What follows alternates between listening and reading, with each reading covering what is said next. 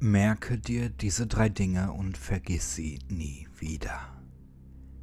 Erstens, dein eigener Schatten ist dein größter Feind. Zweitens, du wirst deinen Frieden nur finden, wenn du dich von ihm lossagst. Am besten schnell. Drittens, es ist schwer, sich von ihm zu trennen. Sollte es dir geglückt sein, wirst du wahrscheinlich bald aus diesem Leben scheiden. Dafür ersparst du dir aber großes Leid. Spaltet sich ein Mensch von seinem Schatten ab, durchbricht er die Grenzen unserer Realität, zerstört das göttliche Gefüge, das seine Seele zusammenhält, und driftet letztendlich in die Weiten des Kosmos davon. Doch er erspart sich das Leiden, und er umgeht das große Gesetz, welches besagt, dass jedes Lebewesen auf unserer Erde zweimal stirbt. Der Mensch erschafft sich sein Leben selbst. Ein böser Gedanke und er stürzt sich und viele Artgenossen ins Unglück. Denkt darüber nach. Alles Böse entsteht aus unserem Gedankengut. Egal ob Krieg, Armut oder Streit. Alles basiert auf den Gefühlen Hass, Gier, Eifersucht, Schmerz und Wut. Doch wir sind nicht die Urheber dieser Gefühle. Hattest du schon mal einen bösen Gedanken? Hast du dir gewünscht, dass einem anderen Menschen etwas Schlimmes zustößt? Hattest du das Bedürfnis, ihm weh zu tun? Wolltest du ihn leiden sehen? Ihn töten? Ja, das wollte ich.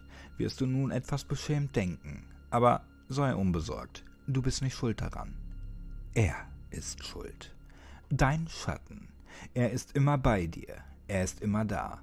Und er lebt und denkt und fühlt. Solltest du dich also einsam fühlen, so freue dich. Du bist niemals allein. Aber denke daran, dein eigener Schatten ist dein größter Feind, denn er hasst dich. Und er ist wütend, sehr, sehr wütend. Warum dein Schatten wütend ist? Du weißt es vielleicht nicht, aber auch du bist sein größter Feind. Der Tod und das Leben wechseln sich ab. Jede Sekunde sterben Lebewesen. Jede Sekunde werden sie geboren. Merke dir das. Jedes Wesen durchlebt zwei Leben. Zuerst das physische, körperliche, so wie du gerade. Oder deine Eltern, deine Freunde, dein Haustier. Über dieses Leben musst du dir deine eigene Meinung machen, denn es gehört nur dir. Beinahe jedenfalls. Wenn du es verbraucht hast, verfällt dein Körper und wird zu Staub. Dann folgt dein Schattendasein. Deine Seele wird weiter existieren, und sie muss bleiben. Da ihr der Körper fehlt, wird sie von unserer Realität an einen Anker gezwungen. Was ist mit dem Himmel, dem Jenseits oder wenigstens der Hölle? wirst du nun verwundert fragen. Diese Orte existieren nicht. In unserem Kosmos existiert nur diese Welt. Der Glaube allein schafft keinen realen Raum. Unser Glaube bildet eine eigene, parallele Welt, deren Mauern wir uns selbst setzen. Es ist sehr schwer, diese Grenzen zu durchbrechen. Es benötigt mehr als ein Leben, um genug Kraft dafür aufzubringen. Was wird dann mit meiner Seele geschehen, wirst du nun bestürzt denken. Sie bleibt und wird an einen Anker gezwungen.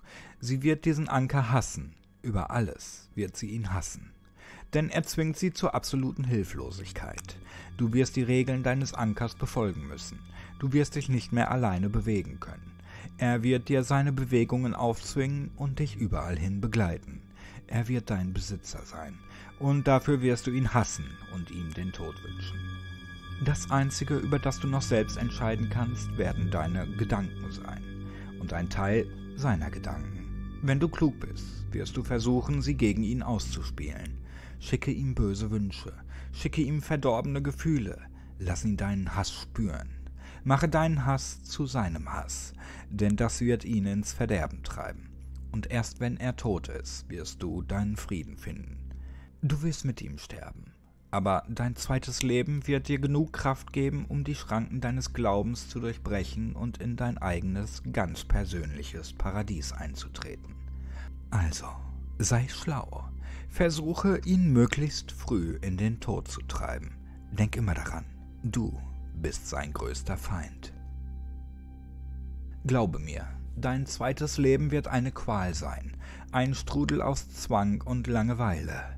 Nur in der Nacht, wenn es dunkel ist, wirst du dich ein paar Stunden frei bewegen können.